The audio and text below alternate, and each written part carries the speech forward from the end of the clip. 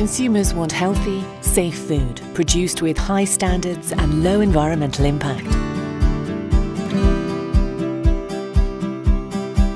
Farmers face these challenges at a time when they're having to adapt to a changing climate and extremes of weather whilst adopting more responsible practices. To support the future of farming, Germinal are investing in science and harnessing new technologies that are both sustainable and productive. Developing climate-smart forage solutions will directly address the problems that agriculture face. Food security and climate change.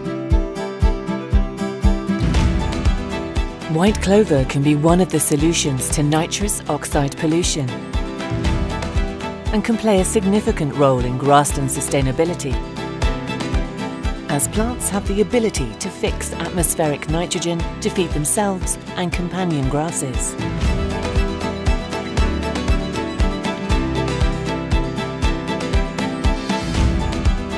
Germinal DoubleRoot is a unique hybrid clover that will help farmers adapt to environmental changes and better manage valuable inputs and resources. The plant has a rooting strategy that reaches above and below ground, making it efficient and more able to cope under weather and grazing stress. Developed over 20 years at IBERS, the Institute of Biological, Environmental and Rural Sciences at Aberystwyth University. The breeding target was to improve persistency and resilience by combining the growing traits of white clover and Caucasian clover. Initially, DoubleRoot grows like traditional white clover with a deep taproot.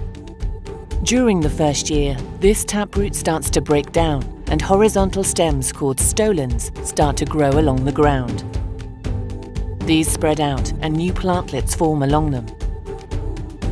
Because the stolons are exposed, they're susceptible to drought, cold and damage from grazing animals, reducing the plant's ability to spread. Unlike traditional white clovers, DoubleRoot also produces roots under the soil surface via underground stems called rhizomes that also form new plantlets. This growth habit gives DoubleRoot the ability to withstand greater environmental stress and maintain growth when water is limited. Therefore, it is tolerant of drier conditions and can recover from colder temperatures and be grown in a wider range of climates and soils.